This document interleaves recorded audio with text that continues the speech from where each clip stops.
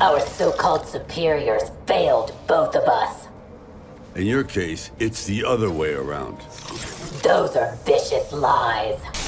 Kronika's keeping prisoners. You'll never free them from the void.